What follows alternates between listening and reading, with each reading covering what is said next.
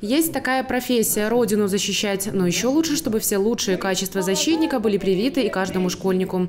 Так считает руководство Московского района Бреста. Потому 1 октября на базе средней школы номер 35 был создан Центр допризывной подготовки. К слову, по всей стране их насчитывается более 30, но Брестская область в этом деле новичок. Я считаю, что это очень хороший опыт.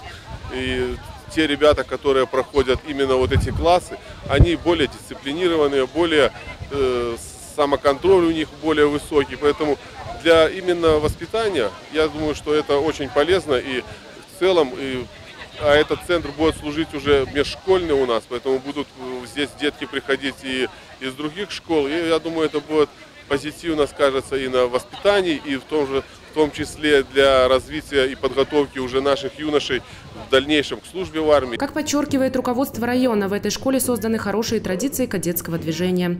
Потому именно ее стены станут храмом до призывной подготовки для юношей 10-11 классов. Кстати, посещать данные занятия смогут ребята любых школ со всего московского района города.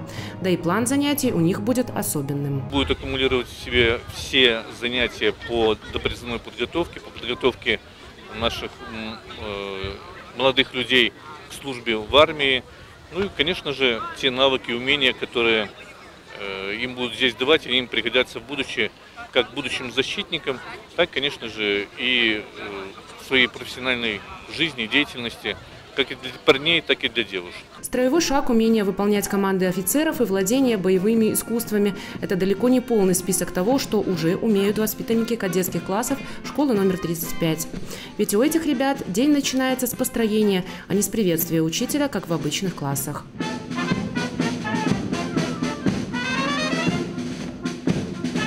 Центр допризывной подготовки сможет помочь усовершенствовать эти знания и, конечно же, приобрести новые. Тем более, что многие ученики школы уже сегодня видят себя его воспитанниками и чувствуют себя настоящими мужчинами. Напряженный график обязывает. Мы заняты не до часу дня, а до 4.16.45.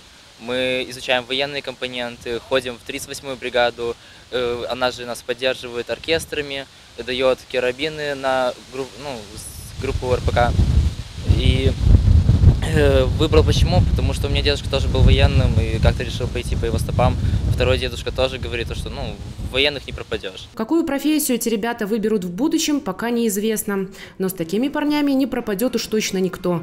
Ни семья, ни родина. Мирослава Коваленко, Григорий Пекарский, Дмитрий Лазарчук. Телекомпания Бук ТВ.